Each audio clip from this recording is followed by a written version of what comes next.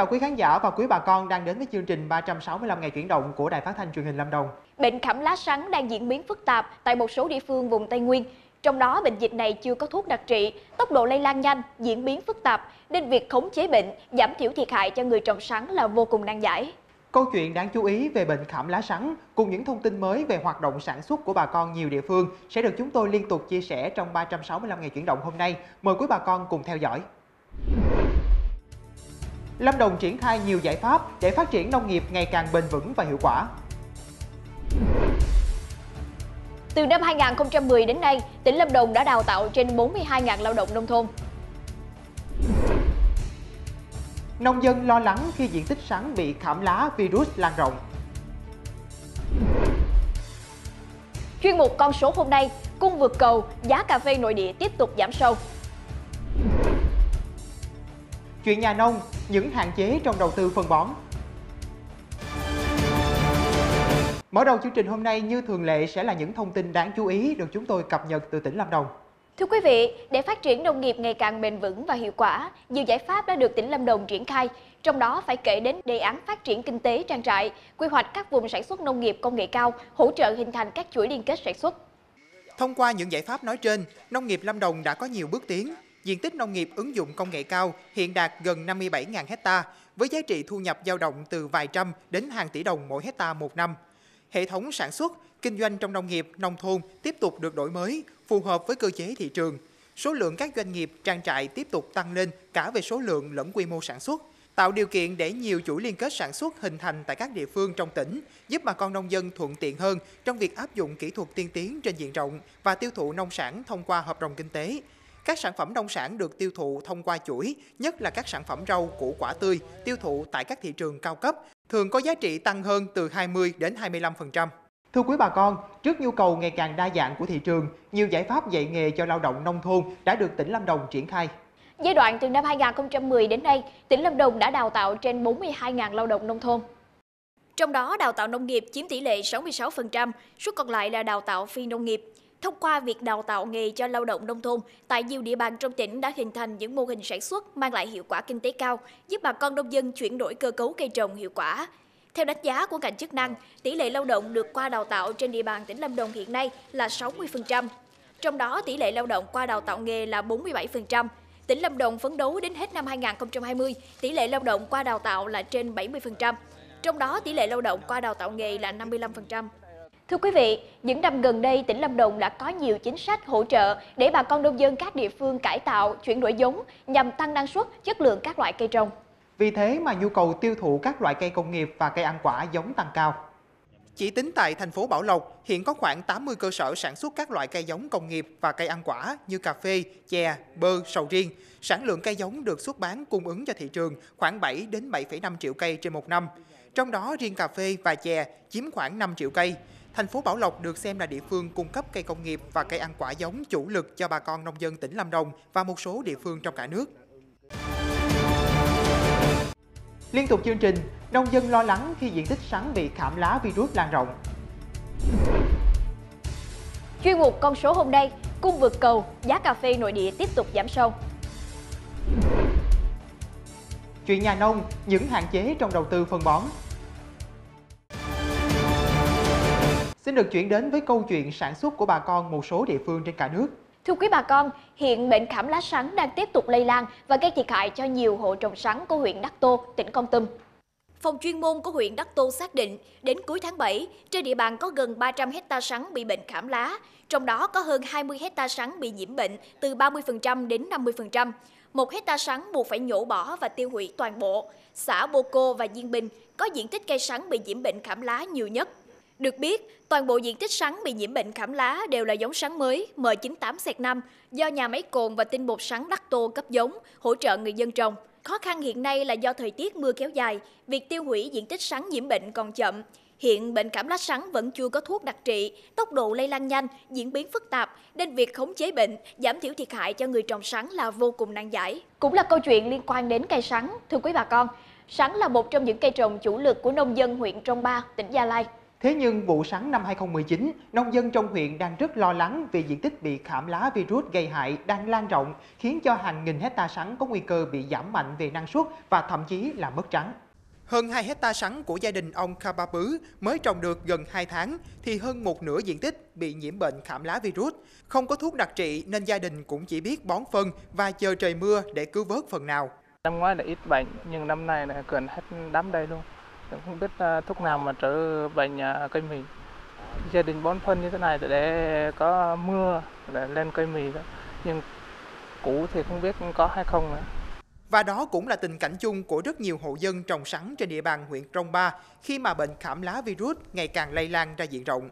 Năm ngoái thì đám trong nhà thì không thấy không phát hiện được ờ, cái cái bệnh này nhưng mà năm đây thì nhà thì không biết sao và tự nhiên nó phát hiện vài cây trong vườn nên ờ, đợt thứ nhất thì không thấy ờ, ờ, thấy vài cây thôi còn là đợt làm cỏ thứ hai thì thấy cả đám trong vườn là bị hết. Năm ngoái bệnh khảm lá virus hải sản gây hại trên giống HLE11. Năm nay, bệnh khảm lá virus hải sản gây hại hầu hết các loại giống trên địa bàn. Nguyên nhân là do nguồn giống, thứ hai là do bỏ phân trắng. Diện tích sắn hàng năm của huyện Krông Ba là gần 20.000 hecta. Năm 2018 chỉ có gần 20 hecta bị nhiễm virus khảm lá, thì năm nay qua thống kê sơ bộ đã có hơn 1.000 hecta bị nhiễm bệnh. Trước tình hình đó, ngành nông nghiệp huyện Krông Ba đã và đang triển khai các biện pháp hướng dẫn người dân cách phòng trừ. Được biết, dù mới chỉ xuất hiện trên địa bàn tỉnh Gia Lai trong 2 năm trở lại đây, song bệnh khảm lá virus gây hại trên cây sắn đã lây lan rộng và gây nhiều thiệt hại cho người nông dân. Trước tình hình trên, ngành chuyên môn cần có khuyến cáo, hướng dẫn người dân biện pháp phòng trừ một cách có hiệu quả để hạn chế thiệt hại đến mức thấp nhất. Trong nội dung tiếp theo của 365 ngày chuyển động hôm nay, xin mời quý bà con cùng quay trở lại với những câu chuyện tại à, khu vực đồng bằng sông Cửu Long. Thưa quý vị, dù đã đến hẹn nhưng nước lũ vẫn chưa tràn về các cánh đồng vùng đầu nguồn của miền Tây. Nước không về nên cá linh, loài cá được mệnh danh đặc sản của đồng bằng mấy ngày này cũng biến mất không xuất hiện. Thông thường tháng 7 âm lịch nước lũ đã tràn về các cánh đồng ở An Giang, Đồng Tháp. Có năm lũ nhỏ, có năm lũ lớn, nhưng hôm nay con nước phù sa vẫn biền biệt, các ngư dân ở đầu nguồn ngóng lũ. Ghi nhận tại các chợ vùng biên đầu sông Tiền của huyện Hồng Ngự đã xuất hiện một số loại đặc sản như bông súng, bông điên điển, cua đồng, ốc, vân vân. Tuy nhiên cá linh, loài cá được mệnh danh là đặc sản không thể thiếu trong mùa nước nổi thì vẫn chưa xuất hiện. Theo các tiểu thương, do nước thấp nên việc đánh bắt cá gặp khó khăn, sản lượng cá ít. Thời điểm này chỉ có một số loại cá đồng như cá rô, cá lóc, riêng cá linh gần như không xuất hiện. Trong khi năm ngoái, thời gian này, cá linh đã được lên chợ với giá bán khá cao, hơn 200.000 đồng một ký. Cá linh mất mùa, đồng nghĩa với việc người dân không có mùa cá ủ mắm, một hương vị đậm đà của đặc sản trời cho vùng sông nước miền Tây. Chuyển sang một câu chuyện đáng chú ý khác. Hiện nay, nông dân trên địa bàn huyện U Minh, tỉnh Cà Mau đang cao điểm vào mùa thu hoạch hẻ nước. Đây là loài thực vật mọc hoang nhưng là món ăn dân dã được nhiều người ưa thích và có đầu ra ổn định trong vài năm trở lại đây. Diện tích thu hoạch hẹ nước tập trung ở các xã vùng quy ngọt, mọc trên ruộng lúa, các kênh rạch ở lâm phần rừng tràm. Thời gian thu hoạch có thể kéo dài từ tháng 5 đến tháng 12 dương lịch.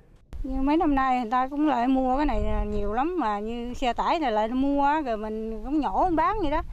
Rồi mình trồng rau cải thì nó tưới phân, tưới thuốc đồ cái này không có phân thuốc gì trơn á. Rồi mình bán như cái mình bằng cỏ của mình luôn vậy đó. rồi giờ anh bán cũng có thu nhập ờ, trong gia đình cũng ờ, khá cao. Hiện tại, hẹ nước được thương lái từ các tỉnh vùng trên xuống thu mua tại chỗ với giá thấp nhất là 10.000 đồng một ký, có thời điểm lên đến 15.000 đồng một ký. Bình quân mỗi lao động một ngày thu hoạch được từ 20 đến 25 ký, mang lại nguồn thu từ 150 đến 200.000 đồng. Không chỉ những lao động trực tiếp đi thu hoạch hẹ nước, mà việc lặt hẹ, bó hẹ giao cho thương lái tại các cơ sở thu gom còn giải quyết việc làm, tạo thu nhập cho những lao động lớn tuổi trong lúc nông nhàn. Cỡ ờ, ba bốn năm nay thì ờ, năm nào cũng có nhỏ vậy. Mà đầu vụ thì ờ, được ờ, một ký được 15 ngàn. Còn lặt thì chị em ta không đi nhỏ thì ta lặt một ngày một người chắc cũng có trăm ngàn, trên trăm ngàn. Thì ký lặt ký thì cũng ba ngàn. Không phải trồng, không tốn công chăm sóc, nhưng nguồn lợi từ hệ nước được thiên nhiên ưu đãi lại có nguồn thu nhập không kém gì một số loại hoa màu khác. Mỗi mùa hệ nước về lại mang đến niềm vui cho nhiều nông dân xứ rừng U Minh. Quý vị và bà con đang theo dõi chương trình 365 ngày chuyển động và trong nội dung tiếp theo, mời quý bà con đến với chuyên mục Con số hôm nay. 1,82 tỷ đô la Mỹ. Đây là giá trị xuất khẩu cà phê ước đạt trong 7 tháng đầu năm 2019. Theo số liệu của Tổng cục Hải quan, trong tháng 7, xuất khẩu cà phê ước đạt 157.112 tấn với 252,52 triệu đô la Mỹ so cùng kỳ năm 2018, tăng 18,32% về lượng và giảm 1,18% về giá trị. Lũy kế 7 tháng đầu năm, ước khối lượng cà phê xuất khẩu đạt 1.075.395 tấn với 1,82 tỷ đô la Mỹ. So với cùng kỳ năm 2018 giảm 8,23% về lượng và giảm 19,11% về kim ngạch. Thị trường ảm đạm khiến giá xuất khẩu bình quân cà phê của Việt Nam trong tháng 7 năm 2019 chỉ đạt mức 1.607 đô la Mỹ trên một tấn, giảm 14,4% so với tháng 7 năm 2018. Lũy kế từ đầu năm đến tháng 7 năm 2019, giá xuất khẩu bình quân cà phê đạt mức 1.698 đô la Mỹ một tấn, giảm 11,8% so với cùng kỳ năm 2018. Cục xuất nhập khẩu Bộ Công Thương dự báo thị trường cà phê toàn cầu trong thời gian tới sẽ vẫn gặp khó khăn do nguồn cung vượt cầu. Hai nước sản xuất cà phê lớn trên thế giới là Brazil và Indonesia sắp vào vụ thu hoạch nên nguồn cung tiếp tục dồi dào. Quý vị, nội dung tiếp theo của chương trình sẽ là thời lượng dành cho chuyên mục Chuyện nhà nông, chia sẻ những câu chuyện những mô hình sản xuất đáng chú ý của bà con trong và ngoài tỉnh Lâm Đồng. Thưa quý bà con, trong chuyện nhà nông số gần đây, chúng tôi có đề cập đến câu chuyện bón phân khoa học và phù hợp là giải pháp giúp nhà nông hạn chế lãng phí đầu tư, nâng cao sức cạnh tranh cho nông sản, xây dựng một môi trường canh tác bền vững. Trong nội dung của chuyện nhà nông ngày hôm nay, chúng tôi xin chia sẻ thêm với quý bà con về những hạn chế cần khắc phục để đảm bảo dinh dưỡng cho cây trồng hợp lý. Mời quý bà con cùng theo dõi.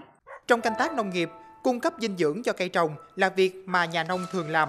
Thống kê của ngành chức năng bình quân mỗi năm, nông nghiệp Lâm Đồng sử dụng hàng triệu tấn phân bón các loại, trong đó cà phê là loại cây trồng sử dụng phân bón nhiều hơn cả, với gần 700.000 tấn phân hữu cơ và trên 500.000 tấn phân vô cơ. Tiếp đến là cây rau màu, khoảng 600.000 tấn, hoa 150.000 tấn. Với những diện tích được bà con nông dân đầu tư ứng dụng công nghệ cao, dinh dưỡng cho cây trồng được nhà nông tính toán hết sức kỹ càng nhằm cung cấp một lượng dinh dưỡng đảm bảo phù hợp với từng giai đoạn sinh trưởng, giúp cây trồng phát triển ổn định, hạn chế lãng phí đầu tư. Hiện tại bây giờ mình cải tiến là công nghệ cao mình làm với phân hữu cơ, những cái dòng sinh học mới, cái coi mình nó sẽ bền vững hơn trong vườn mình. Bây giờ thị trường nó rất là nhiều những cái sản phẩm, mình lấy những cái sản phẩm mà có những cái thương hiệu lớn, mình phải nhờ bên uh, kỹ sư để mà tư vấn cho mình để làm cho nó hiệu quả cao hơn. Có một thực tế là hiện nay, do trình độ kỹ thuật sản xuất chưa đảm bảo, nên còn một bộ phận nhà nông vẫn làm nông theo phương pháp truyền thống. Giải pháp đầu tư, chăm sóc cây trồng của bà con chưa khoa học, bởi vậy mà tình trạng bỏ phân chứ không phải là bón phân cho cây trồng vẫn còn diễn ra, gây lãng phí đầu tư, ảnh hưởng trực tiếp đến thu nhập của nhà nông. Không chỉ có vậy, bón phân không đúng phương pháp, cây trồng không hấp thụ hết lâu ngày, còn là nguyên nhân gây ô nhiễm môi trường canh tác. Bà con thường thường là thuê công lao động thuê công lao động thì người người là người à, người lao động người người thuê mình làm thuê người ta rải hầu như là rất là rất là vô tư còn chỉ có những cái vườn mà có diện tích từ 1 đến 2 hecta thì người ta mới chăm sóc kỹ được thì người ta mới bón kỹ thì người dân bón kỹ thì năng suất rất là cao. Chúng tôi đi khảo sát cũng như đánh giá nhiều bà con thì gọi là nói vui nói vui Lâm Na gọi là bà con là đi bỏ phân chứ không phải là bón phân. À, vậy thì trong cái khuyến cáo chúng tôi đi tập huấn cho bà con nông dân thì hướng dẫn cho bà con là nên bón phân, tức là bón phân làm sao bón phân khi đất đủ độ ẩm, bón đúng đủ đúng đủ và đúng chủng loại và bón theo cái từng giai đoạn sinh trưởng và phát triển của cây cà phê thì nó sẽ đưa lại hiệu quả kinh tế cao. Còn có những bà con hiện nay bón không theo cái nhu cầu trên những cây mà bón theo cái tập quán của người nông dân nên nó sẽ gây lãng phí và nó ảnh hưởng đến sinh trưởng và phát triển của cây trồng. Trước những hạn chế đó, nhiều giải pháp hỗ trợ đã được ngành chức năng và các doanh nghiệp triển khai xuống cơ sở nhằm giúp bà con nông dân đầu tư sản xuất nông nghiệp ngày càng khoa học và hiệu quả hơn. Tuy nhiên, vấn đề then chốt vẫn là ý thức của nhà nông. Bởi có đổi mới trong tư duy làm nông nghiệp thì hiệu quả sản xuất mới được nâng lên, môi trường canh tác mới thực sự bền vững. Nội dung chia sẻ đáng chú ý trong một chuyện nhà nông cũng đã khép lại chương trình 365 ngày chuyển động hôm nay. Quý vị và bà con quan tâm, đóng góp, chia sẻ thông tin, vui lòng gửi email về chương trình tại địa chỉ 365 ngày chuyển động ltv a.gmail.com hoặc gọi điện qua số điện thoại 02633 829 930. Còn bây giờ, Ánh Nguyệt và Khánh Tường xin kính chào quý vị và hẹn gặp lại trong chương trình ngày mai.